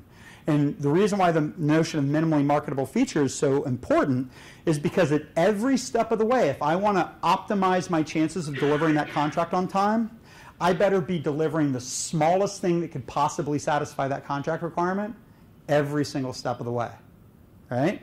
Okay? So what we do is we put that team in place and they're they're they're looking up and decomposing down, making trade-offs at this level to optimize chances of success at this level.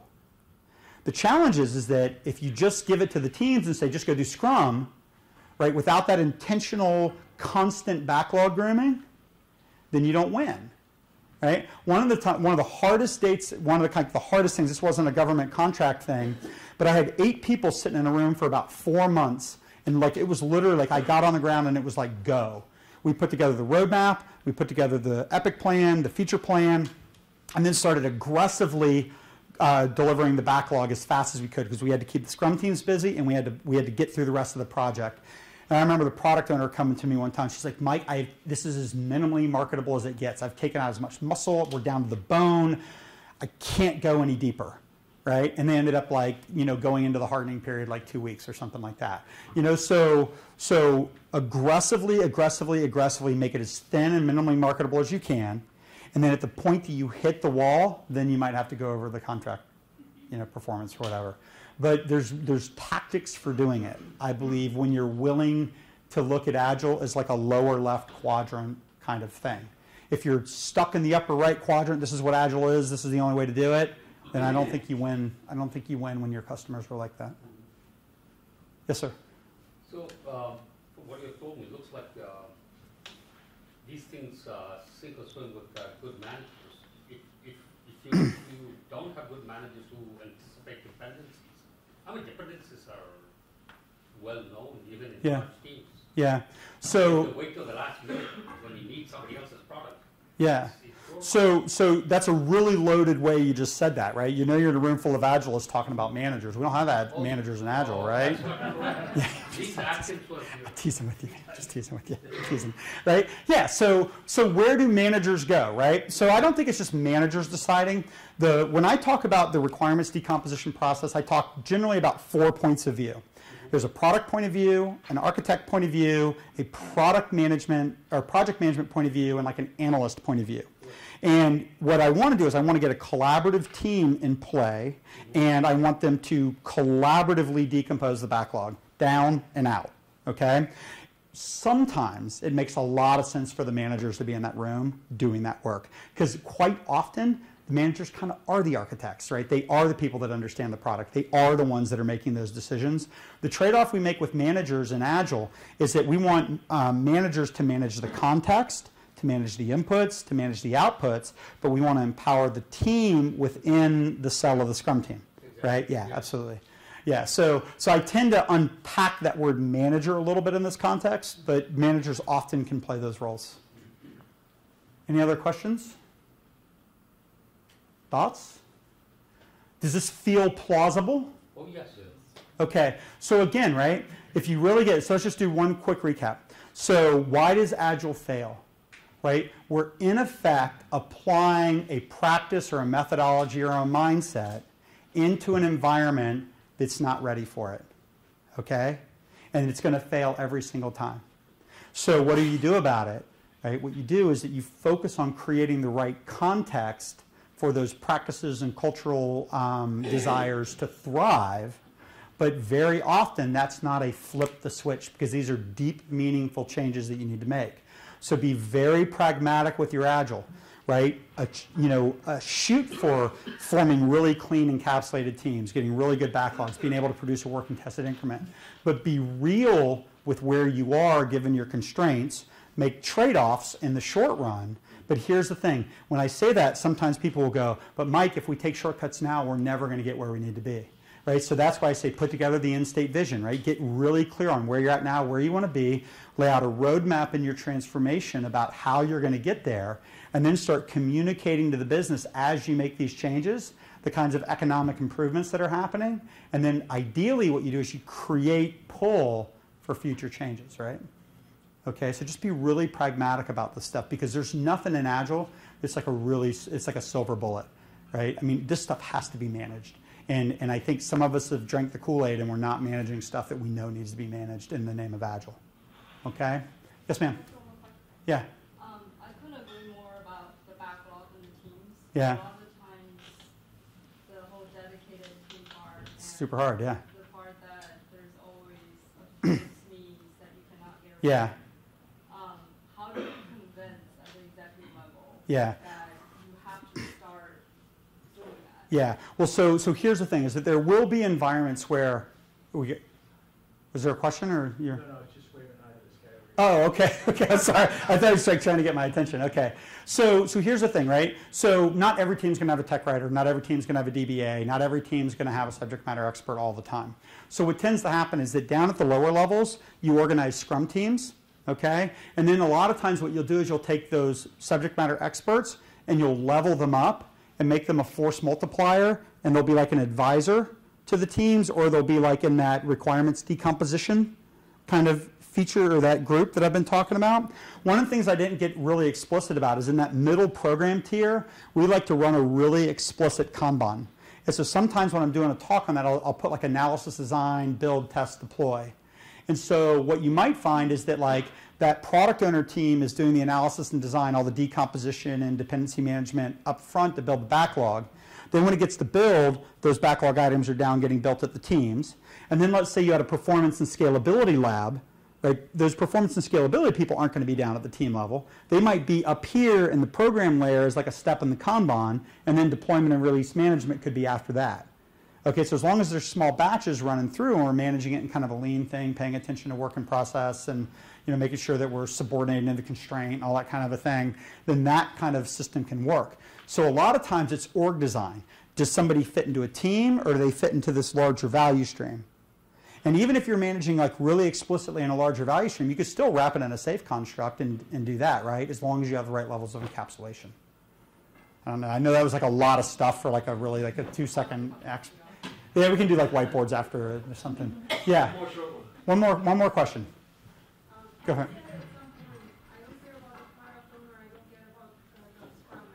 Yeah. I'm thinking one of the great roles of the Scrum Master is to protect the team Mhm. against um, being spread even thinner than they are. Yeah. What do you? Yeah. Okay, so so I'm going to answer that two ways. So I don't care about the product owner and the scrum master, but I care that the um, that the functions that those roles were formed to do are done. Okay? So if so the, the problem when you look at it the other way is you can have a product owner and not have a good backlog. You can have a scrum master all day long and not have a protected team. Okay? So one of the challenges is that, and this is language that I really reject in Scrum, right? Teams don't need to be protected. They need to operate within a rational system, right? If they operated, if you think about it, if you had a team that operated in the way that I'm talking, with a really clear backlog, able to produce a working tested increment, what would that team need to be protected from? Right? The system around that team is broken. And so, again, right, I understand that in a broken system, the Scrum Master might have to play that role. But what I would suggest is that long term, that won't solve the problem. Okay? The only long term solution for agile at scale and complex organizations is fix the system. Just is, right? And that feels inarguable to me because, I mean, that Scrum Master is just going to get burnt out, undervalued. They're going to go do something else, right? They're going to get tired of fighting against a system that is not going to fix itself. So the cool thing that we have in our favor right now is that it, this isn't 10 years ago, right? We're not explaining Agile to people, right? We're not like, this isn't like, oh, your waterfall, let's do Agile. Well, maybe it is in this town, but in most towns it's not that, right? But, you know, but, but you guys, I'm sorry, I'm picking on you guys, but you get the idea, right? Most executives, at least in public companies, CIOs, CTOs, chief product owners, they, they get Agile. They want it. But the problem is, is that a lot of us are selling them snake oil, right? Just do these things and this magic will happen. And they know how broken their organizations are, and they know this stuff won't work. And so they're dying for people to show up and be able to say, this is how you do it. This is how we're going to justify the investment. This is what it's going to look like. This is what your roadmap is. This is what's going to happen. And they're smart people, right? And so we have a really unique opportunity as Agilists to go tell a bigger story and to make meaningful change. Okay? And so we don't have to fight this groundswell grassroots thing as much as we used to, right? There are executives out there that really get it. They just want something that's credible, right? None of this magic hand wavy stuff that we've been doing for the last 10 years. Okay, I think we're I think we're wrapped. Thank you, Mike. Okay, awesome guys. Good? So we've been Facebook live streaming this in the back, and it's like you guys do that all the time. It's our first experiment with it, so I'm hoping that it actually like worked. So uh, anyway, It so looks like it did. did it look like it did? Uh, awesome. Mike, as a token of our appreciation Awesome. for coming out here and talking to us, we want you to cool. get outside and go to Yeah, REI. go to REI, okay, All right. awesome, thank you very much. Stick around for a second. Yeah, no, I'm sticking. I'm Um, oh no no no! You're gonna pick the uh, the grand Oh, prize, get but not the yet, not yet. I, I want to see uh, LJ if you can come on up. Uh, we've got our raffle tickets to draw and some really cool prizes to win. But before we get into that too, uh, like we always do, we like to continuously improve. So there's cards out the front door. Green if you loved it. Yellow if it's eh, could use some improvement. Red, uh, not coming back. Uh, but please leave a note as to why you don't want to come back, because we might try to improve that. Um, it could be either the talk or the facility, the food, whatever. I know there was an elevator issue uh, that will hopefully worth writing down so we remember. But uh, those are the kind of things we'd love to see on here because we do take note and try to improve. So that's out the front door. All right. So we have, speaking of SAFe, we have a sign. Well, we'll get into that one afterwards. Whoa, sign. Um, the rollout by Alex Yakyma. Yep. Uh, LJ from AgileCraft is going to draw the location. This is signed as well. Um, is it Fallon? Number eight four two nine one nine six. What are the last three numbers? One nine six. Oh, Fatet. Uh, I saw her. Where is she? Next to Art. Yeah. Yep. Oh, sorry. I That's it. What's your name? Phaeton. Yeah, yeah, that's it. Come on up. Let's hear it for Phaeton.